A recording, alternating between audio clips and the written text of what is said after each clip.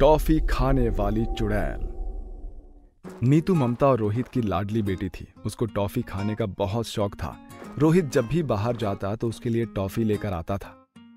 मेरी लाडली कहाँ है? मैं उसको ढूंढ रहा हूँ। पापा आप आ गए। मेरी टॉफिया कहाँ है? बेटा ये रही तेरी टॉफिया। उन्हें कैसे भूल सकता हूँ भला? वाह ये तो बहुत अच्छी वाली टॉफी है। ये तो मुझे बहुत पसंद है। इसमें अलग अलग तरह के फ्लेवर होते हैं। एप्पल वाला, मैंगो वाला, ग्रेप्स वाला, पाइनएप्पल वाला और मुझे तो पाइनएप्पल फ्लेवर बहुत अच्छा लगता है। आपको तो पता है ना कि मुझे ये टॉफियाँ कितनी पसंद है? मैं जानता हूँ, मैं घर में बाद में आ पाता हूँ और तुझे टॉफियाँ पहले चाहिए होती हैं। तू मुझे टॉफी के लिए ही याद करती है ना? हाँ? नीतू रोहित के गले लग जाती है और दोनों बहुत खुश होते हैं। तभी ममता वहाँ पर आती है। हो गया तुम्हारा लाड़ प्यार। तुम्हारे लाड़ प्यार ने नीतू को बहुत बिगाड़ दिया है। मैं इसको लाड़ प्यार नहीं करूँगा तो और किसको करूँगा? ये है ही इतनी प्यारी कि इसको डांटने का मन ही नहीं करता। ये जो मांगती है मैं उसके लिए तुरंत लेकर आ जाता हूँ। मुझसे मना ही नहीं होता है यार इसको। लाड़ प्यार एक जगह है पर इसकी सेहत भी तो देखो। इतनी टॉफियाँ खाती है कि कुछ हद नहीं। इसके दांत सारे खराब होते जा रहे हैं। बच्ची है खाने दो टॉफियाँ। अभी नहीं खाएगी तो क्या बड़े होकर खाएगी? जब हम बच्चे थे तो हम भी तो टॉफियाँ खाते थे। कल इसकी मौसी आई थी। वो भी इतनी सारी टॉफियाँ लेकर आई थी। उन सारी टॉफियों को एक बार में खा गई। बताओ मैं इतनी सारी टॉफियाँ कहाँ से लाऊं? और किसी को देने भी तो नहीं देती ये टॉफियाँ। समझ जाएगी क्यों परेशान होती हो। रोहित हमेशा नीतू का पक्ष लेता था और ममता अकेली रह जाती थी। वो नीतू को टॉफी खाने के लिए हमेशा मना करती थी, पर नीतू उसकी एक नहीं मानती थी। उसे अपने दांत में लगने वाले कीड़ों की भी परवाह नहीं थी।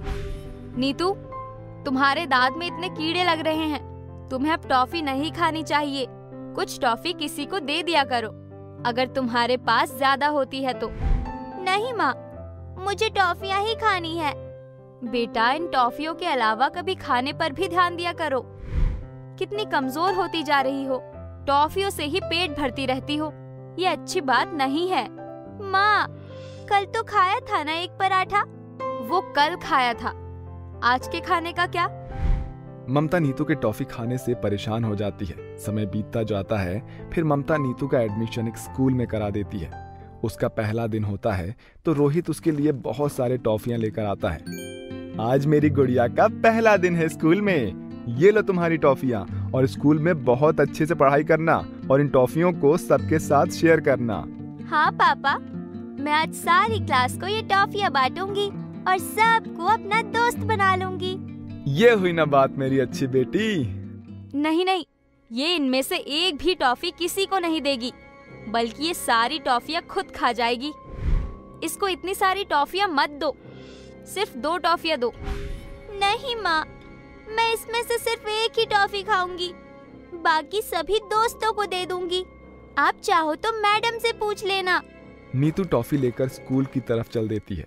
वहाँ पर क्लास में बैठकर पढ़ाई करती है और फिर उसको टॉफी खाने की इच्छा होती है। वो बैग में हाथ डालती है तो उसको टॉफी नहीं मिलती। अरे इतनी सारी टॉफियाँ लेकर आई थी। अब तो एक भी टॉफी नहीं मिल रही है। कहाँ गई सारी टॉफिया? क्या हुआ नीतू? कुछ ढूंढ रही हो? और तुम्हारा ध्यान कहाँ पर है? पढ़ाई पर ध्यान दो। कुछ नहीं, मैम। बस कुछ ढूंढ रही थी, जो मिला नहीं।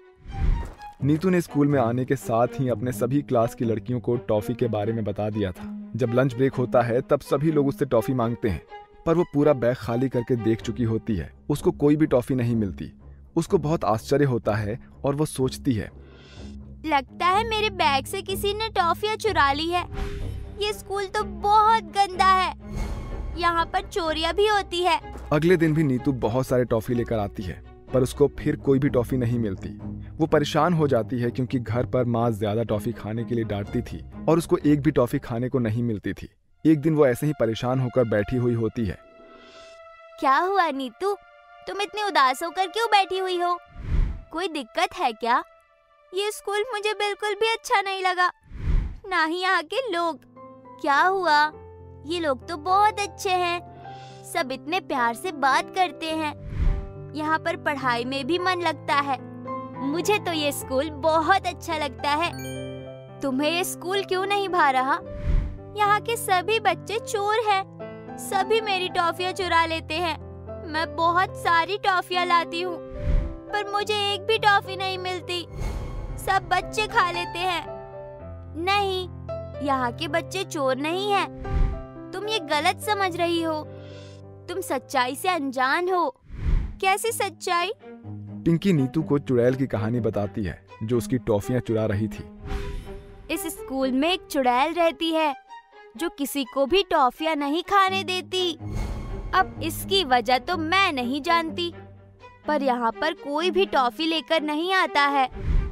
तो वो चुड़ैल उसकी टॉफियाँ खा जाती है या गायब कर देती है। पर यहाँ पर कोई भी टॉफी नहीं बचती। क्या? यहाँ पर कोई चुड़ैल भी रहती है? पर वो चुड़ैल किसी भी बच्चे को परेशान नहीं करती। बस उनकी टॉफियाँ चुरा लेती है। जिससे यहाँ का कोई भी बच्चा टॉफी नहीं खा पाता।